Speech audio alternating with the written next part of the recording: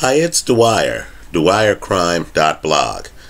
Also, richarddwyer.co for my family law firm site. Today is Thursday, September 23rd, 2021. Let's talk about a case that I find extremely upsetting. In part because a jury only took 90 minutes to convict Florida podiatrist Adam Frasch of brutally murdering his third wife, Samira Frasch. Adam received a life sentence. Folks, the evidence is not there. Let's go one step further, and I understand this video is going to be controversial because this was a high profile murder case. You might come across this case on some of the popular crime shows, and all of them paint the prosecution as a group of heroes. Let me offer a conflicting viewpoint here. You know, the prosecutor should feel ashamed of themselves. The evidence is not here prosecutors need to exercise discretion to avoid wrongful convictions. The jury, quite frankly, may not have known it, but they didn't have enough to work with.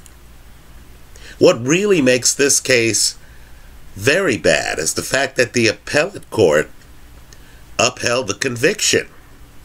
So Adam Frasch right now is serving a life sentence. Let's talk about the problems here. The biggest one is just that we get distracted by facts that don't matter. Right? Adam Frasch had a contemptuous marriage with his third wife, Samira. Right? It was so tumultuous that Adam Frasch actually had kids with other women. It was so tumultuous that, according to rumor, one of Frasch's mistresses offered to sell his wife a sex tape. Now, I'm sure all of this was jarring to the jury. But understand what happened. Adam Frasch and his wife, who had filed for divorce, who had already been awarded custody of their kids, right? And they were young children.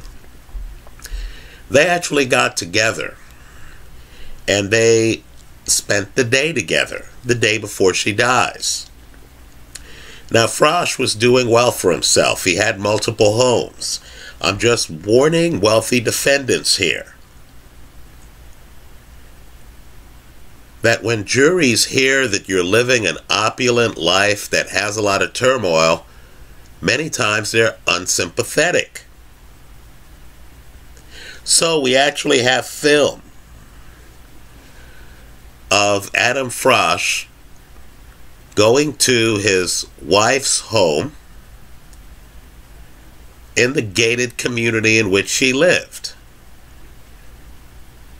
Right? His wife was living in a house that they had owned together, but the court had given her exclusive use of. So understand, we know that the night before Samira dies, we know that she's very much alive. And we know that her and Adam both go back to her house. Now, what we also know is that at 8 o'clock the next morning, Adam, with the kids, leaves the gated community. We know that because it's a gated community. Because there are photos, there's film of Adam leaving the community with the kids. Now that's at 8 a.m. the next day. Around 11 o'clock the next day, an upkeeper goes to the house and finds Samira dead in the pool. Right? She is drowned.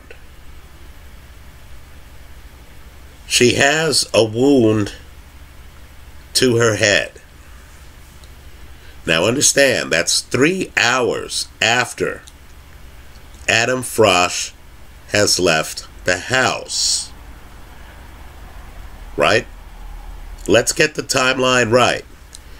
Now, the upkeeper finds the body with his son.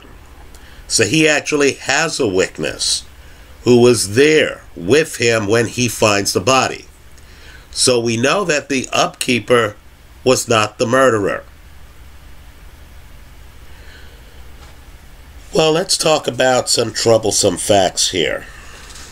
Because, quite frankly, this case should never have been charged. We learn that a neighbor who had never seen anyone in the house, never ever,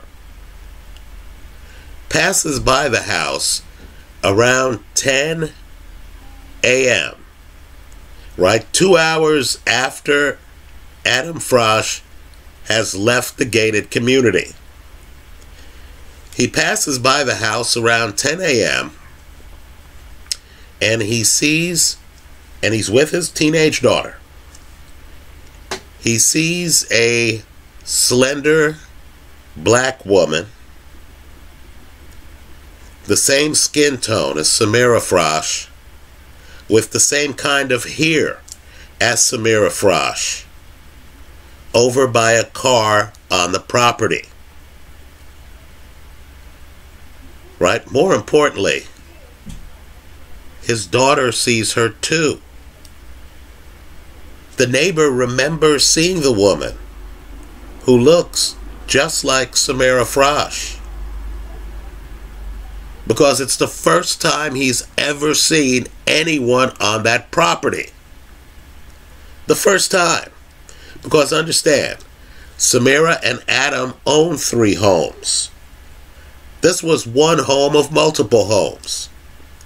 So this neighbor then, shortly thereafter, makes a phone call on his cell phone. Folks, his cell phone's phone records show the time of the call as a little after 10 a.m. Now, again, this is two hours after Adam Frasch has left the gated community. Right, folks? The prosecutor has no contradictory evidence. The prosecutor could not discredit this neighbor's testimony. There is no evidence that's in the record that shows that the neighbor was mistaken. The neighbor also didn't know the Frasches. He had no dogs in the hunt. He had no reason to lie for anyone. Right? As best as we know, this neighbor is a neutral third party, just telling the cops what he saw right before he makes a phone call, which serves as a timestamp. And of course, his daughter saw the same thing. So you have two people who saw a woman who looked exactly like Samira Frasch, the murder victim, alive on her property.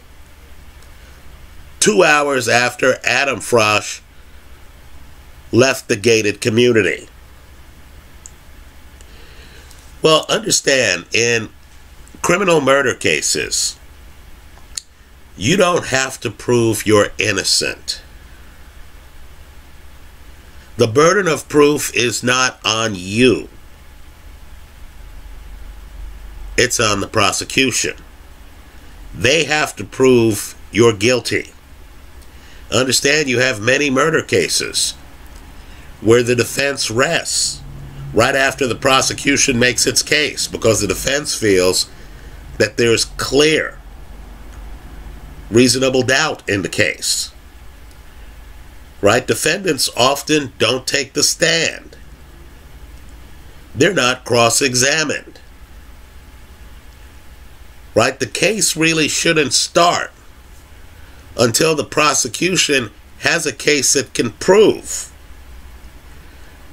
Well, here, when you have two third party witnesses who see the murder victim alive, two hours, two hours after the criminal defendant is filmed leaving the complex. In my opinion, that should be the end of the case. Well, it gets weirder. Understand, Samira Frasch's body is found in the pool. So then the prosecution tries to come up with a time of death.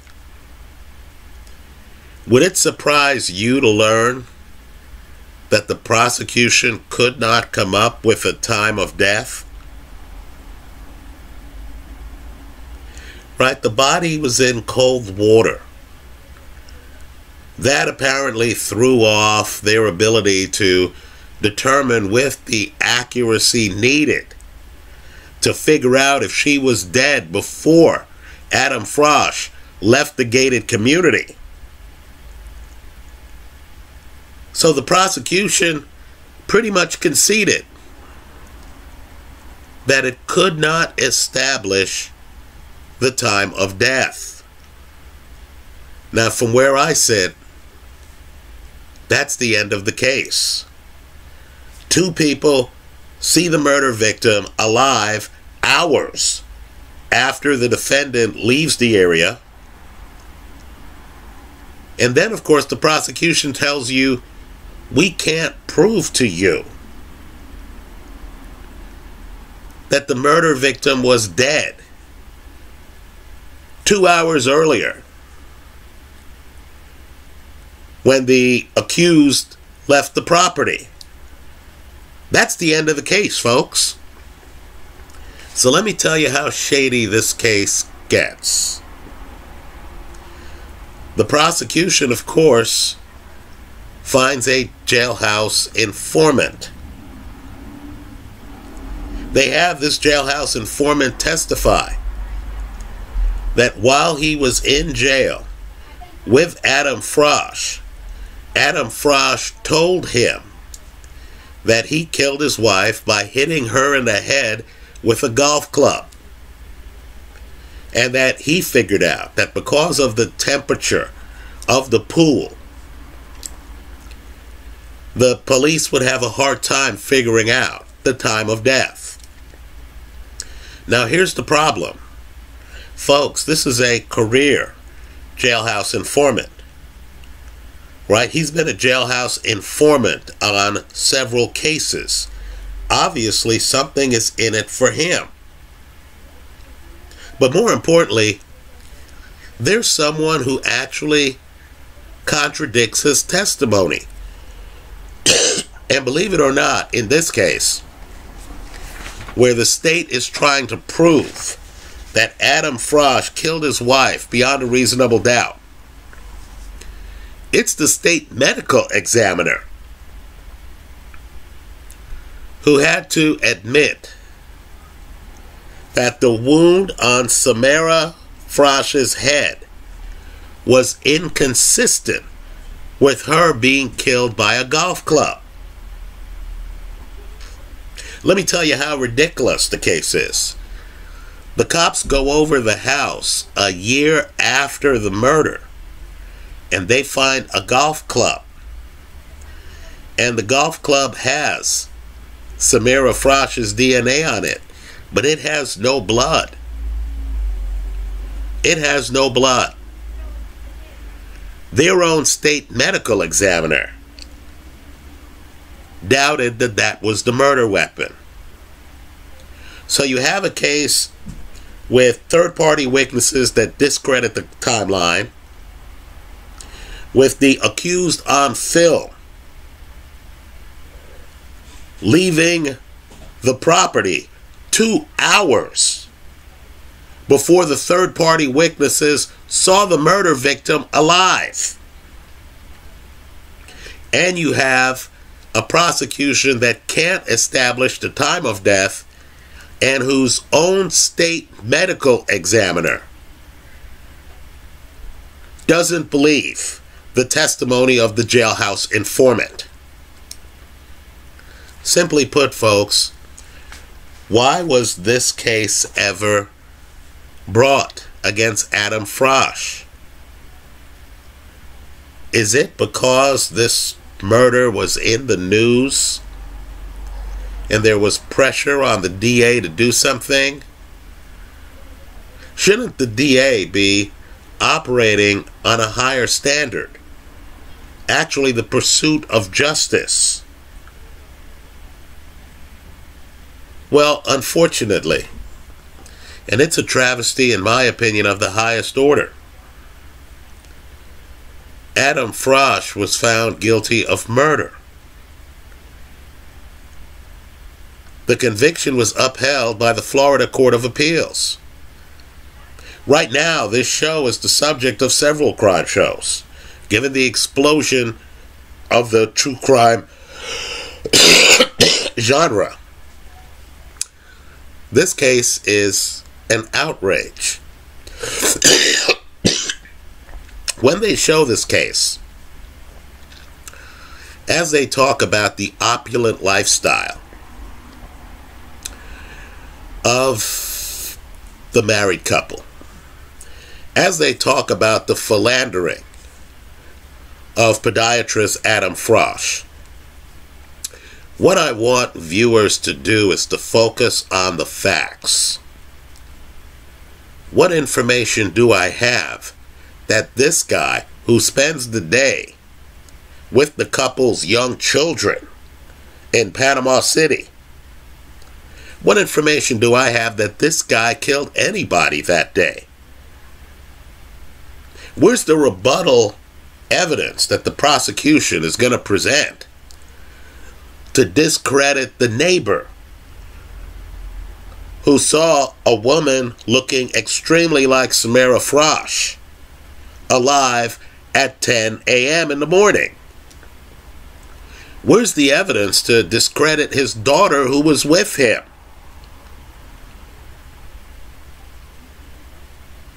If the prosecution can't tell you the time of death, can't produce the murder weapon, can't come up with a concrete theory on exactly how Adam Frasch killed his wife. What exactly is he doing in prison? I view this case as an outrage. I understand many of you might disagree. Tell us about it in the comment section of this video. Thanks for stopping by.